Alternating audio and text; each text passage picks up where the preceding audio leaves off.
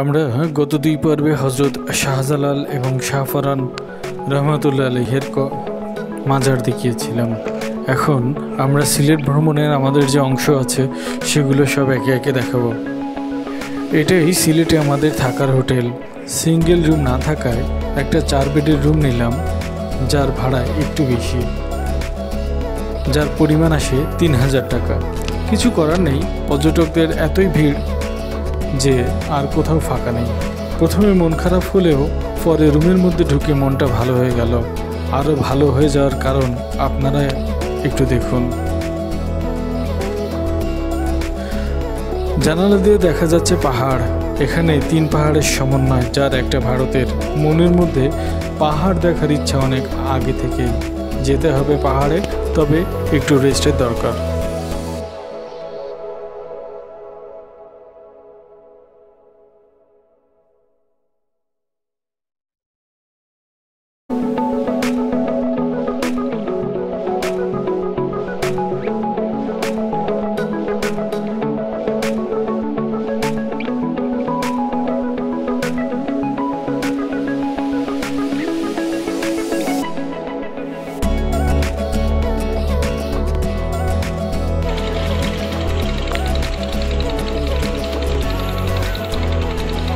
এখানে মুহুর্মুহু টলারের শব্দ।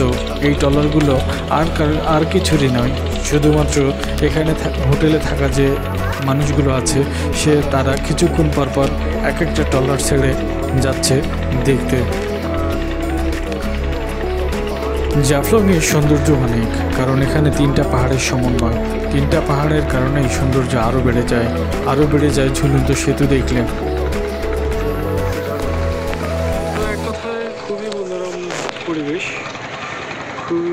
পরিবেশ? আমাদের হোটেল থেকেই সব কিছু এভাবেই দেখা যাচ্ছে। দূরে পাহাড় আরও দূরে মায়াবী ঝর্ণা। কিন্তু মায়াবী ঝর্ণা এখান থেকে দেখা না গেলেও একটু দূরে গেলে, একটু সরে গেলেই দেখা যায়। আমরা বেরিয়ে পড়লাম জাফলংয়ের উদ্দেশ্যে, জিরো পয়েন্ট যেখানে। আমরা যে হোটেলে আছি, সেই হোটেল থেকে পায়ে হেঁটে যাওয়া যায় জাফলংয়ে শুরু করলাম যাত্রা।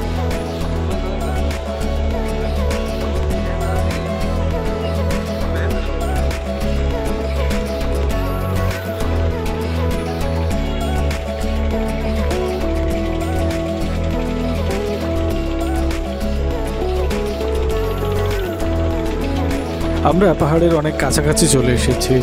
এখান থেকে পাহাড়কে অন্যরকম দেখা যাচ্ছে। এপাশে পাশে এক পাহাড়ের শেষ ও পাশে আর এক পাহাড়ের শুরু, পিছনে আর এক বড় পাহাড়। এখানে ভারতের আসাম সাম্রাজ্য।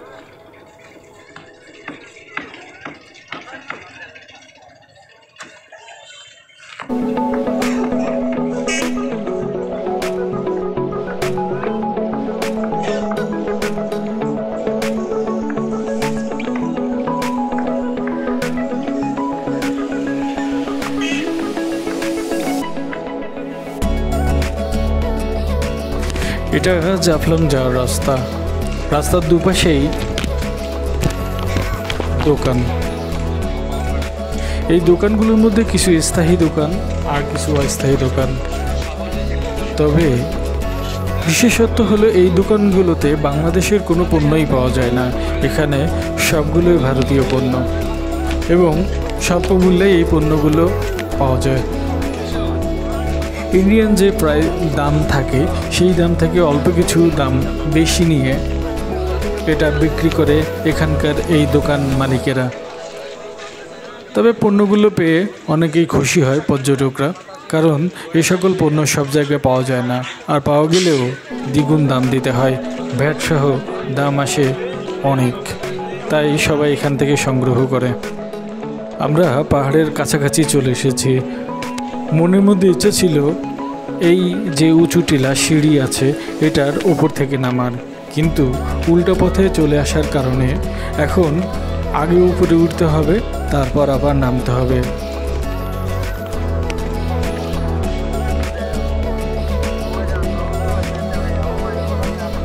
উপরে ওঠা অনেক কষ্টর।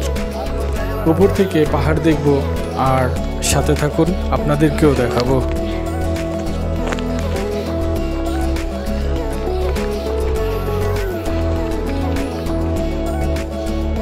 এটা পাহাড়ের টিলার উপরে ওঠার সিঁড়ি। সিঁড়িগুলো ঘন ঘন হওয়ায় উঠতে অনেক বেগ পেতে হয়।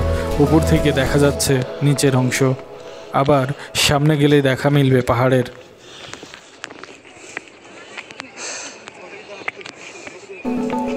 তিনটা পাহাড়ের সমারোহ এমন যেন পাহাড় আর পাহাড়।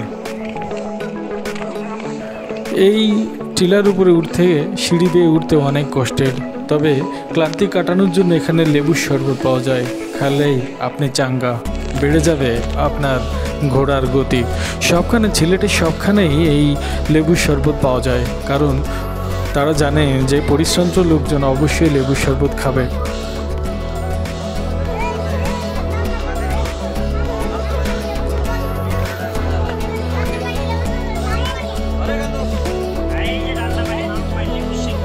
পাহাড় আর পাহাড়, অপরূপ সৌন্দর্যের লীলাভূমি সিলেট। উপর থেকে বেড়ে গেল আরও সৌন্দর্য। যা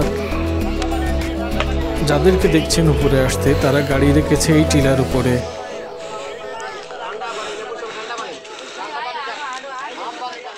তারা সব ঘুরে এখন এই টিলার উপর থেকে আবার গাড়িতে চড়বে। আমাদের উল্টা আসার কারণে আমরা কিন্তু ভোগান্তির শিকার, যেটা আগেই বললাম। এখানে ভারতীয় চকলেট বিভিন্ন পণ্য সামগ্রী পাওয়া যায়, যেটা আমরা আগেও বলেছি। এবার দেখুন সৌন্দর্য, অপরূপ সৌন্দর্য, যা নিজের চোখে না দেখলে বিশ্বাস হবে না। সবাই একটু ক্লান্ত, তাই আবার দরকার লেবুর শরবত। এখানে কোল্ড ড্রিঙ্কস পাওয়া যায়, কিন্তু কোল্ড ড্রিঙ্কস খেলে আপনার গতি আরও কমে যাবে। তার থেকেই ভালো, লেবুর শরবত। এবার নামার পালা। উঠতে কষ্ট হলেও নামতে কষ্ট হয় না, আর হচ্ছেও না।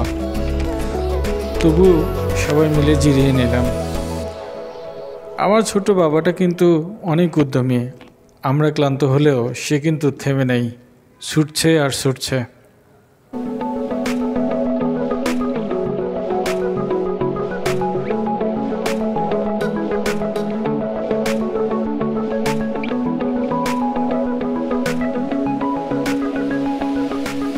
আর একটা বাবা আমার কোলেই আছে একটু ক্লান্ত রাত জাগা তো এই কারণে।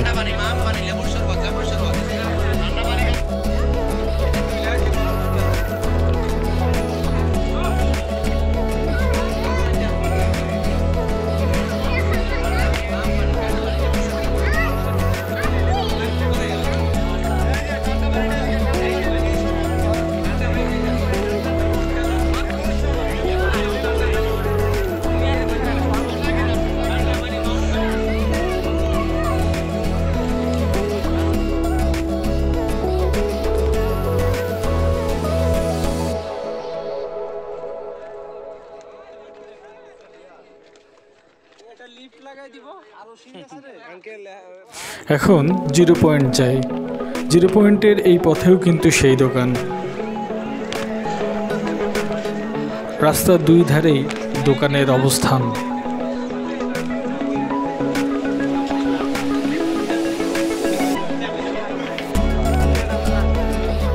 আর একটা কথা সে বলে রাখি, সেটা হচ্ছে এখানে কিন্তু অনেক ক্যামেরাম্যান পাওয়া যায় যারা ছবি প্রতি দুই দুই টাকা অথবা তিন টাকার বিনিময়ে আপনাকে সুন্দর সুন্দর ছবি উঠিয়ে দেবে। এটাও একটা খুব ভালো দিক।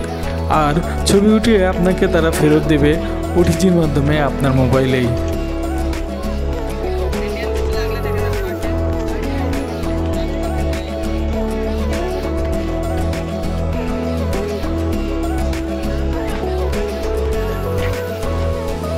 আস্তে আস্তে পাথরের দেখা মিলছে। পাথরের উপর হাঁটা একটু মুশকিল। মুশকিল হলেও কিন্তু অনেক আনন্দের।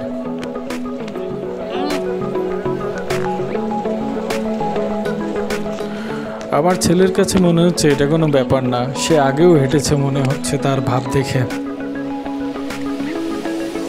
তার মধ্যে এখন অনেক এনার্জি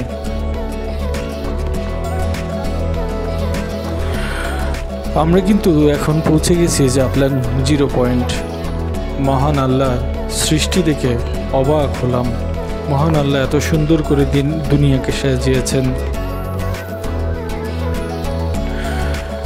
একটু ঘুরে দেখি যা জাফলং। আম- আমার আল্লাহ দুনিয়াকে সাজিয়েছেন শুধু আমাদের মঙ্গলের জন্য। হে আল্লাহ, তোমার কাছে লাখো কোটি শুক্রিয়া তোমার সৃষ্টি এই অপরূপ সৌন্দর্য দেখানোর জন্য। প্রাকৃতিক সৌন্দর্য দেখলে আপনার মনটা ভরে উঠবে, অনেক আনন্দে। ভালো হয়ে যাবে আপনার মন, কারণ সব দুঃখ কষ্ট বিদায় নেবে প্রাকৃতিক সৌন্দর্যের অপরূপ লীলায় দেখে।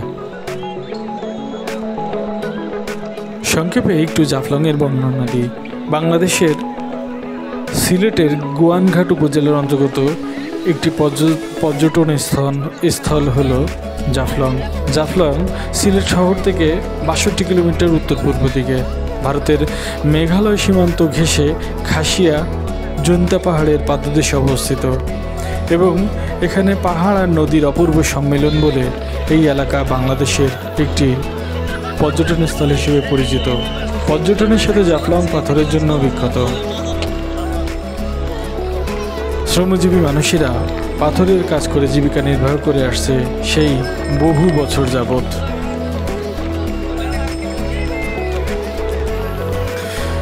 এখানে ডাঙাতে যেমন পাথর দেখা যাচ্ছে, নদীর ভিতরেও অনেক পাথর। ছোট ছোট যে পাথরগুলো দিয়ে বিল্ডিং বানানো হয়, সবগুলো ভেসে আসে এই ছোট্ট নদীর মধ্য দিয়ে। সেগুলো আপনাদের দেখাবো। আমাদের সঙ্গেই থাকবেন। দেখতে থাক দেখতে পাবেন আমাদের সাথে। সিলেটের আরও কিছু সৌন্দর্য। আমাদের ভিডিও যদি আপনাদের ভালো লাগে, তাহলে সাবস্ক্রাইব করুন এবং আমাদের সঙ্গে থাকুন। আশা করি আপনাদেরকে আরও সুন্দর সুন্দর জায়গা আরও বাংলাদেশের সুন্দর সুন্দর মসজিদ, সুন্দর সুন্দর আল্লাহর অপূর্ব সৃষ্টি, যেগুলো বাংলাদেশের অন্যতম জায়গা, সেগুলো আপনাদের দেখানোর চেষ্টা করব। মহান আল্লাহ রাবুল আলমিন সবাইকে ভালো রাখুক। সবাই ভালো থাকুক। এই দোয়া করি।